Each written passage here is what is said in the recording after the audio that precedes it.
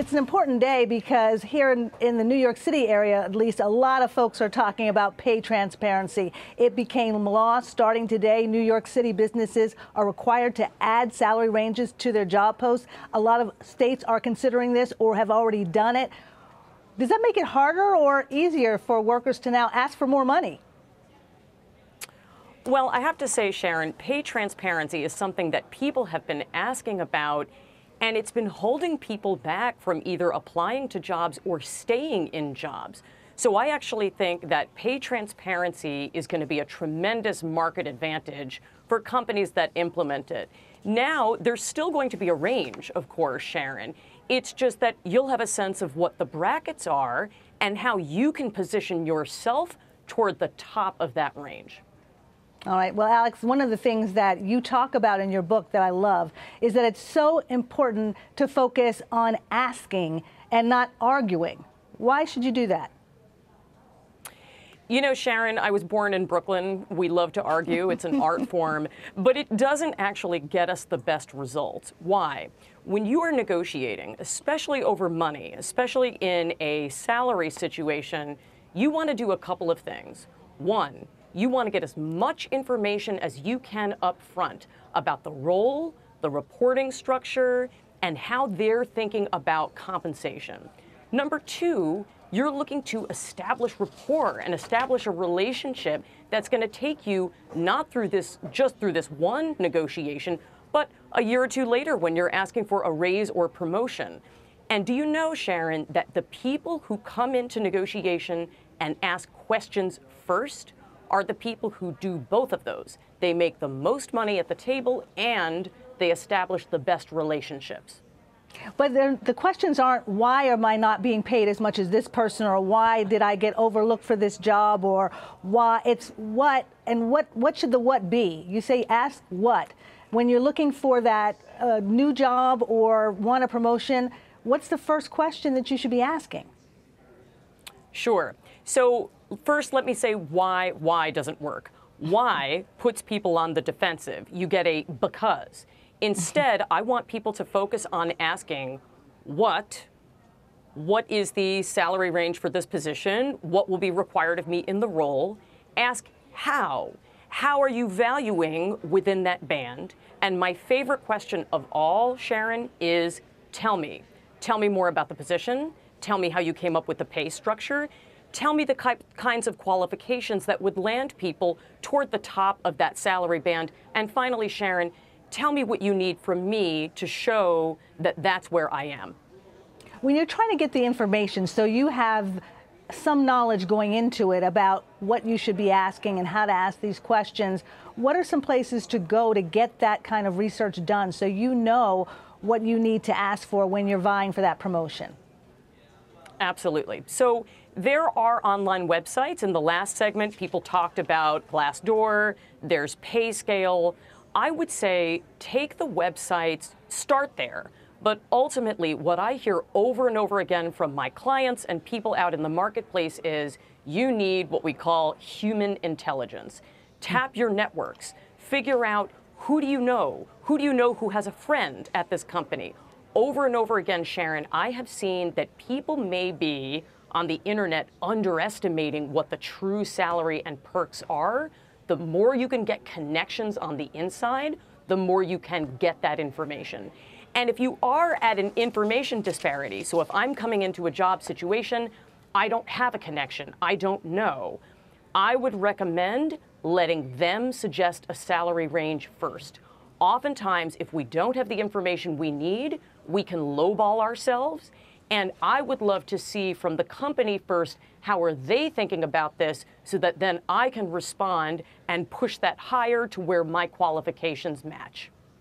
It's so important to do that kind of research and to talk to people. But the reality is, at least for someone who's been in her career for 20 some years like I have, when I started, no one talked about money. That was not something you did. did. The senior people in my uh, magazine that I worked for, the first thing they told me was to sign up for the 401k, but they never talked about how much money they were making. And I was trying to figure out how do I live in New York City and do a 401k and pay for everything at the same time? There was never discussion on that. So, how do you make sure you have that reliable network internally on LinkedIn, uh, you know, in the industry? How do you develop those relationships where you can really trust people enough to discuss it?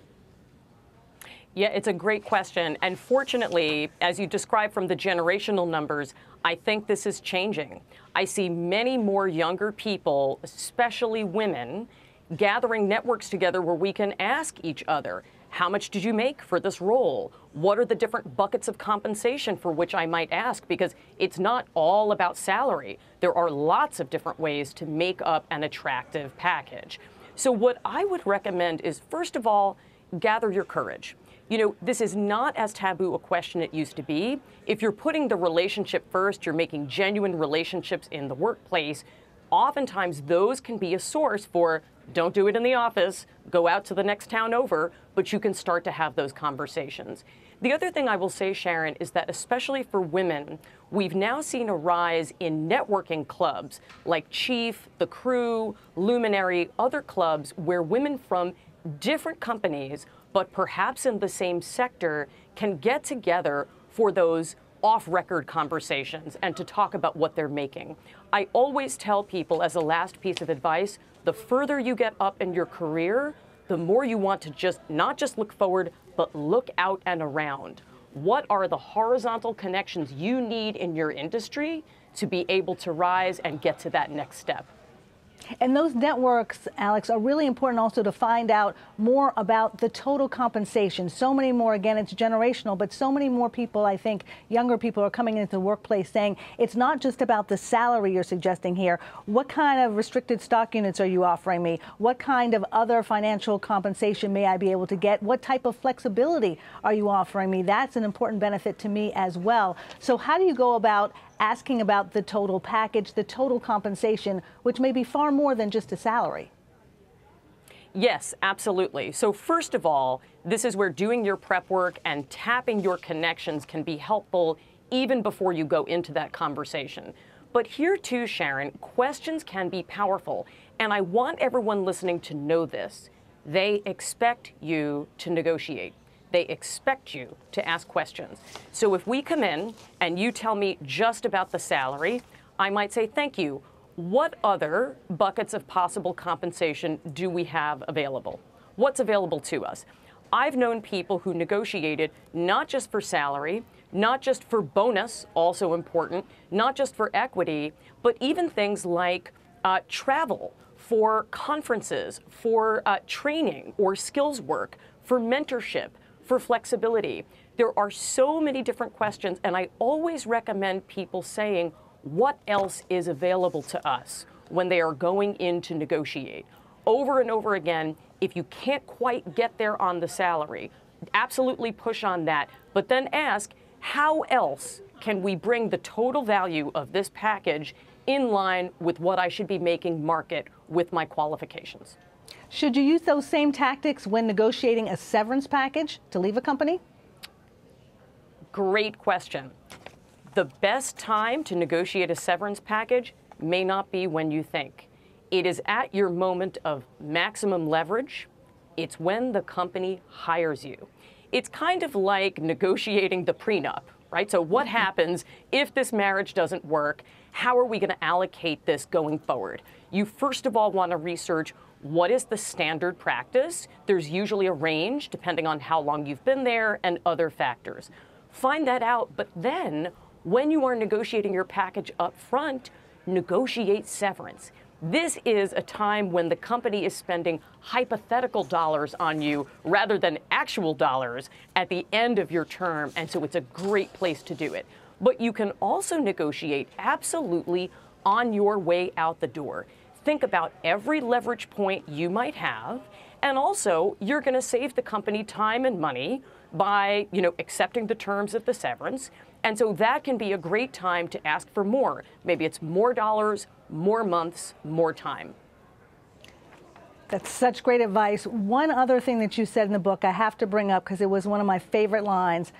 Silence is your superpower in negotiation what? I'm supposed to be asking for all these things, and you're saying I should be silent? Is that really a tactic?